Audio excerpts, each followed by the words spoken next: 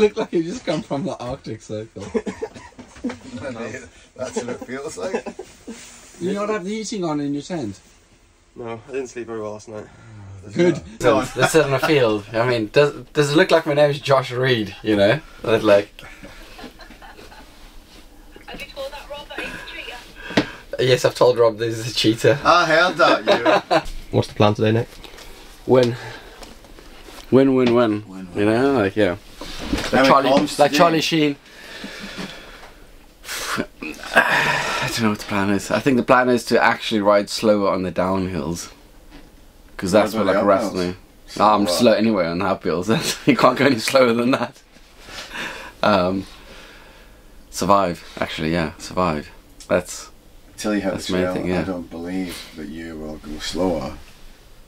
no, Because, I'm saying I'm like a child in a sweet shop. You'll see the hill and run for it, or cycle for it. Yeah, I know, but You'll be going down. Heat down, ass up. oh, sorry.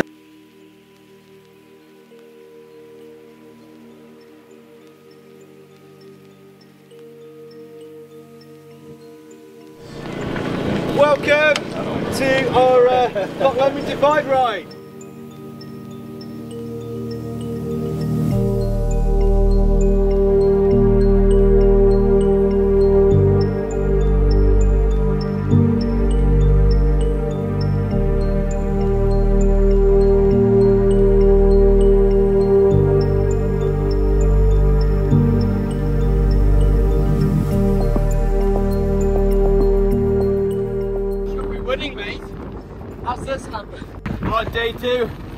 Loch Lomond Divide. Uh, we're heading to Aberfoyle, we started in Dunoon, and some epic gravel again today.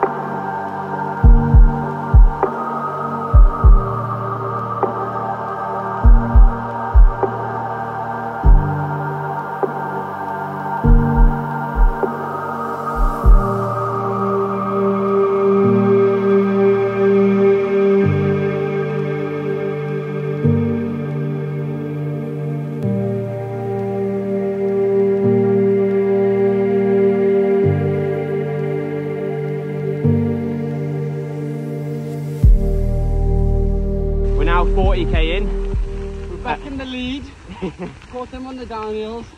The Oh. mountain goes think they're fast uphill, but I mean, there's not, you can't descend. We've just been down a, a really nice, steep, techie descent, which uh, still buzzing from.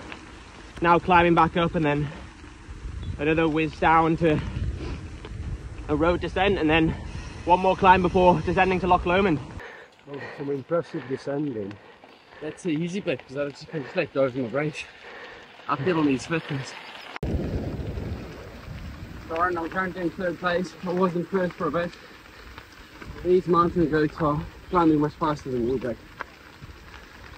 they forgot to pack their big boy pants for the downhills. So I'll catch them in a couple of seconds again. And then put some distance in.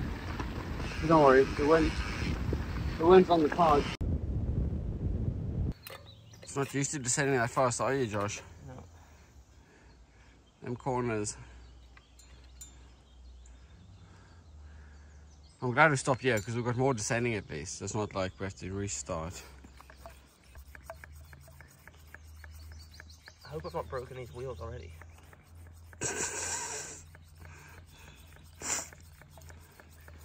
Well, they are a week old.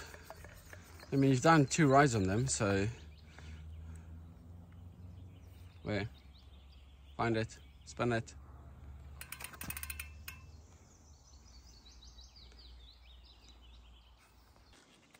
Like, I didn't even know they still made things called tubes.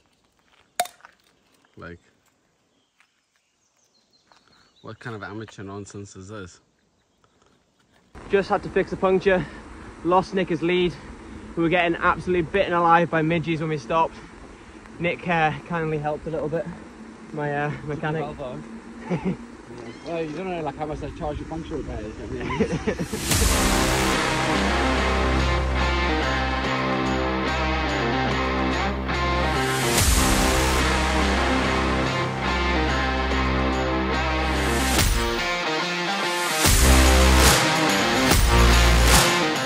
bike, Josh? Got another puncture, mate.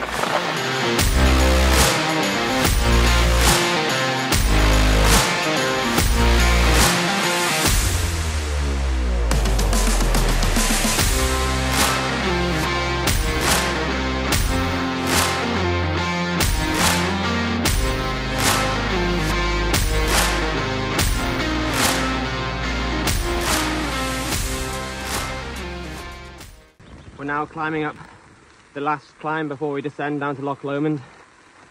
Nick's not complaining at all. And uh, yeah, we're just having a great day.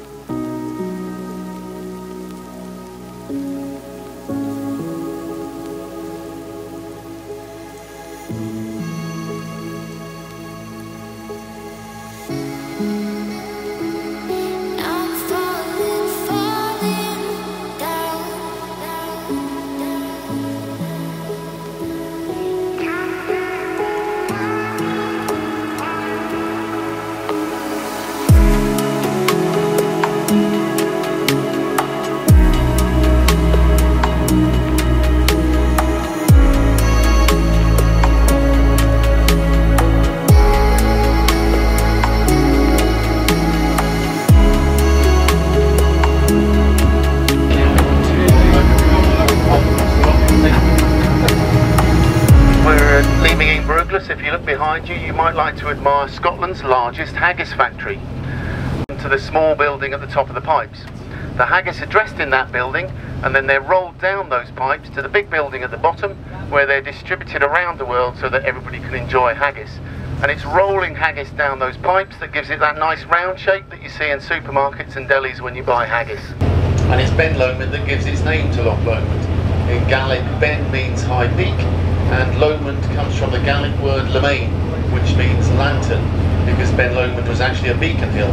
They used to light a large fire on top of Ben Lomond, and it would be seen very clearly all the way down in Glasgow and Edinburgh. So it was a very good way of signalling. And the last time Ben Lomond was used as a beacon hill was during the late Queen's Platinum Jubilee celebrations, when a beacon was lit on top of Ben Lomond.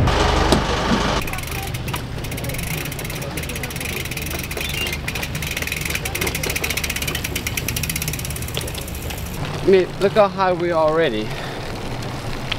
We've just started the ride again, like, this is brutal. You know I mean? Surely there's a different ferry boat that's got like a flat road out of it. 13% gradient. It's gonna be a long, long, long, long day. We've crossed over Loch Lomond. Uh, we're climbing away from the loch now, and uh, we've crossed the west where the West Highland Way uh, intersects the route. And uh, yeah, 50k now to Aberfoyle. Do you reckon this is what Jimmy feels like on every single ride he goes on? I would kill for steak bake right now.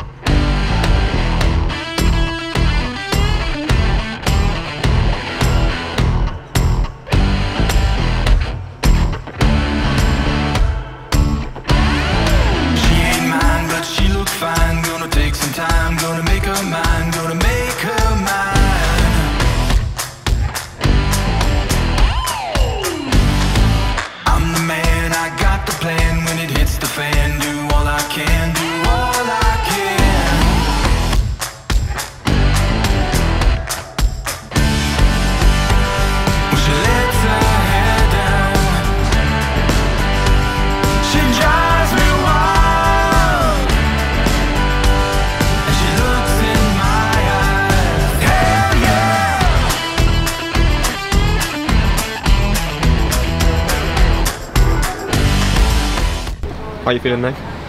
Shattered, mate. Like I honestly thought those pies and some coffee and everything will fix me, but it's not. Need to find that ice cream shop. Everybody's walking around with ice cream. I need one Why have we come to Aberfoyle? because I've bonked and I need food. I've had some, but it's like it's just I thought like the will to live hasn't returned for some reason.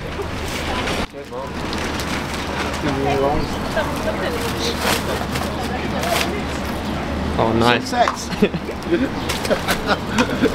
Nick wants a lift in the van. Does he? All right. You sure? Yeah. I'll give you a lift you want.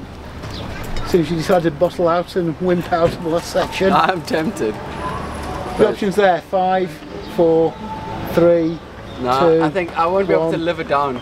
So I'll I'll just suffer for 10 kilometers. Yeah. Um, Josh is gonna pull me up the hill. Is he going to? But yeah, yeah.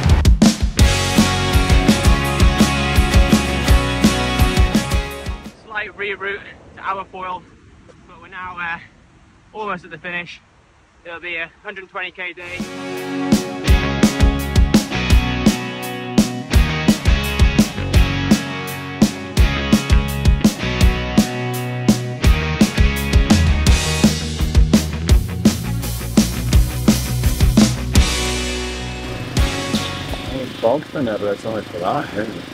Glad to be finished. No, it was so easy, man. I wish we could have been out there for another four hours. Is it nice to see Rob again? Yes, I, I forgot what it looked like. but obviously, I think it's his fault as well. Curry is not a cycling supper. You need pasta. No, no, it's, it's no. It just doesn't work like that. No. He looks, what have you done to him? When we now left you this morning, he was still a man. Now, he's a shadow.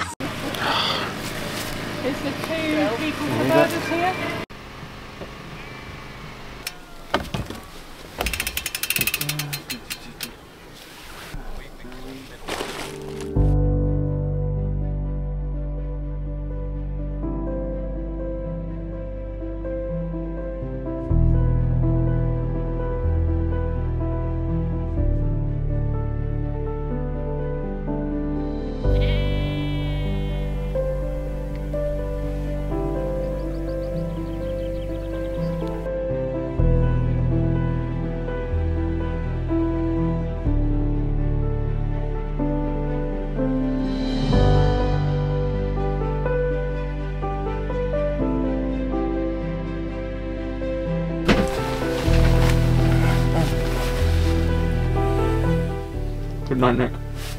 Good night, Joshua. Just light up when you leave.